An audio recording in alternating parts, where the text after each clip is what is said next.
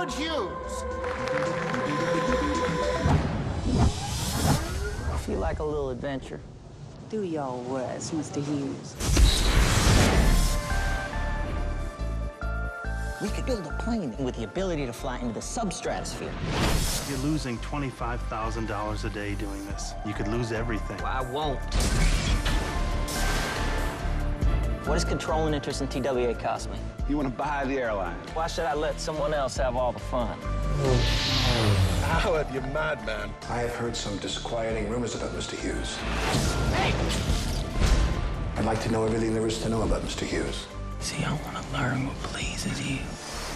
What's this? It's a present. You can buy me dinner. How about that? My investigators have turned up a lot of dirt.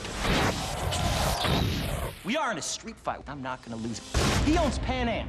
He owns Congress. But he does not own the sky.